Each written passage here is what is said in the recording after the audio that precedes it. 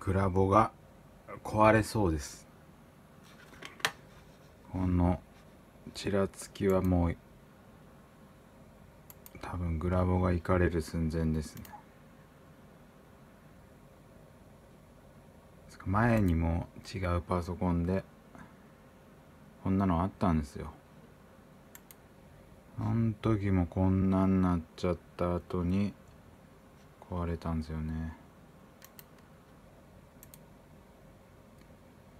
ちょっと管理で見てみましょう。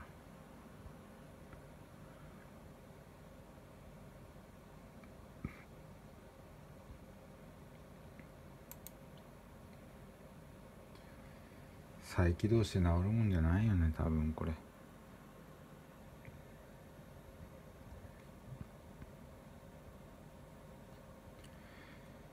見れない管理が。なぜ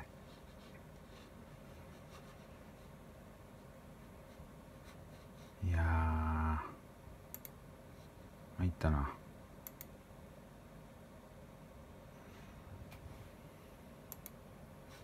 管理が見れないな。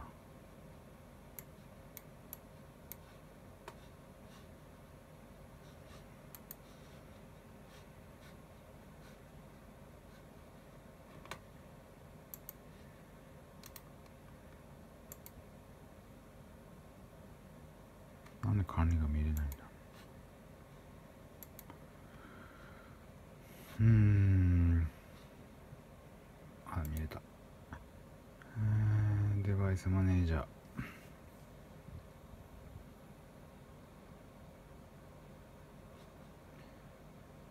ネットワークアダプターじゃなくてディスプレイアダプター。